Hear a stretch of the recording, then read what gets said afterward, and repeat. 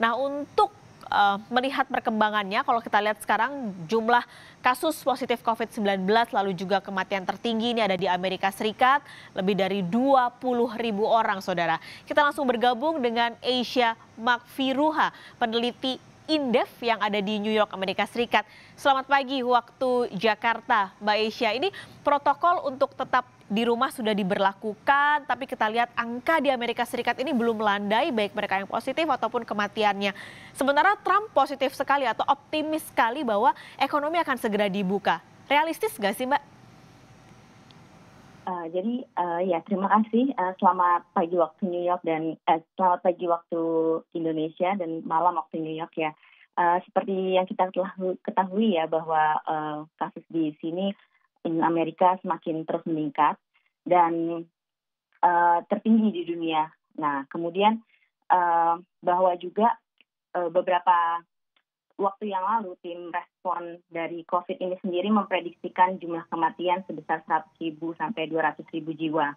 Namun di akhir pekan uh, angka kematian tersebut uh, kurang dari apa yang diprediksikan dan ini terlihat uh, ada sisi uh, menuju ke arah yang lebih baik positif, perkembangannya baik.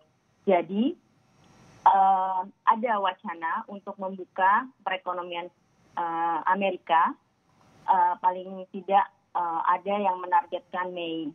Cuman sampai saat ini belum diputuskan oleh pemerintah uh, bagaimana uh, pastinya karena pemerintah tidak pemerintah Amerika Serikat tidak ingin terlalu bergegabah dalam membuka perekonomian dengan cepat, uh, mau memastikan dulu uh, apakah uh, ke depan penurunannya benar-benar uh, terjadi angka kematian dan juga uh, angka uh, daily casesnya dan kedua memastikan mereka memastikan bagaimana mekanismenya nanti uh, untuk membuka perekonomian kembali. Karena uh, ketika membuka perekonomian kembali, uh, kita tidak bisa, tidak balik ke kondisi normal seperti sebelumnya. Yang kita hadapi adalah kondisi new normal saat ini, dan kita perlu berhati-hati untuk mencegah uh, adanya gelombang kedua uh, sampai uh, vaksin benar-benar ditemukan, begitu, Mbak. Oke, nah seiring dengan uh,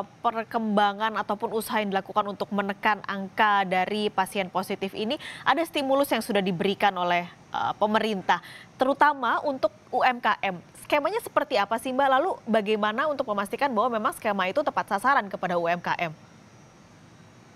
Oke, baik. Um, memang uh, di akhir bulan Maret kemarin, Presiden Trump um, memberikan stimulus uh, sebesar 2 triliun dan ini stimulus fiskal yang terbesar sepanjang sejarah. Dari situ uh, ada 19 persen dari stimulus sebesar uh, 367 miliar US dollar untuk uh, usaha menengah dan kecil ya.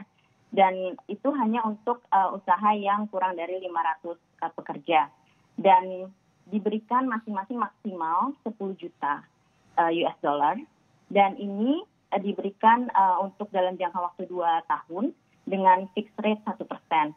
Untuk apa uh, dana bantuan ini? Untuk membayarkan gaji pegawai, juga membayarkan uh, sewa, juga membayarkan uh, operasional yang sempat uh, terputus, yang mereka harus uh, tutup ketika uh, pemberlakuan seperti New York Post ini, gitu.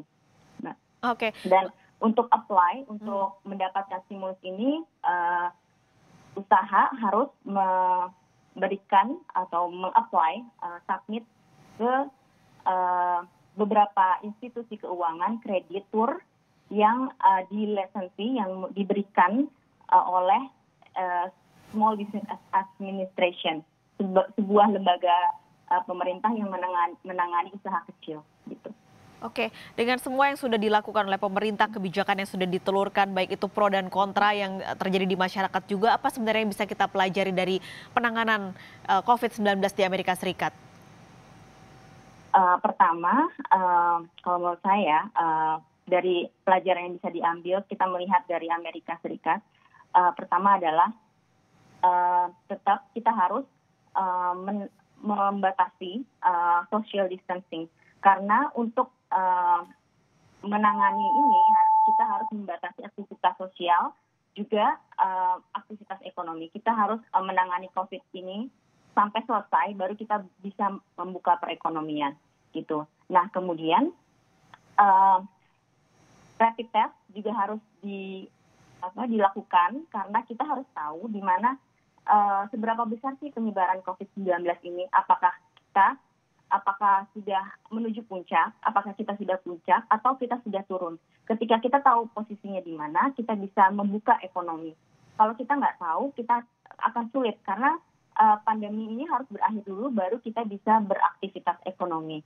Dan kemudian yang ketiga, transparansi data, uh, data dan kebijakan yang reliable.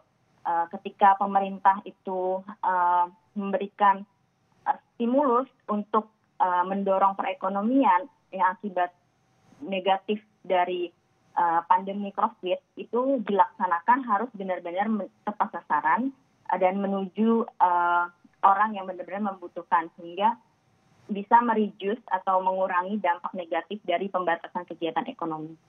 Oke, jadi kalau saya rangkum data dan transparansi paling penting, tapi apakah itu sudah bisa membuat pasar keuangan dan juga pasar saham cukup tenang? Nah, kalau kita melihat dari kasusnya di Amerika, uh, pertama di awal-awal memang mungkin di awal Maret ya, uh, yang saya lihat adalah uh, pemerintah itu belum memberikan uh, pemerintah Amerika Serikat belum memberikan kebijakan yang konkret uh, dalam menangani COVID. Karena pada saat itu pemerintah hanya bilang, oh ini resikonya uh, sedikit uh, terhadap penularannya sedikit terhadap Amerika dan itu membuat pasar saham jatuh. Kemudian ketika WHO ini menetapkan bahwa oh ini sudah pandemi secara global. Pemerintah Amerika Serikat kemudian lalu menetapkan bahwa uh, status emergensi secara nasional. Dari situ kebijakan-kebijakan dan respon terhadap uh, COVID-19 ini terus uh, dilakukan secara intensif oleh pemerintah dan juga uh, timnya. Lalu mereka memberikan update data segala, uh, semuanya kepada publik juga kebijakan-kebijakan seperti social distancing, stay at home order, dan juga rapid test secara masif, terutama di epicenter uh, negara bagian epicenter. Dari situ kemudian memastikan penyebaran ini benar-benar harus selesai. Dan um, hal ini membuat publik lebih percaya, terutama juga terlebih ketika pemerintah uh, Trump uh, dan mem membuka apa mendorong stimulus uh, fiskal sebesar 2 triliun yang sangat besar uh, sepanjang sejarah.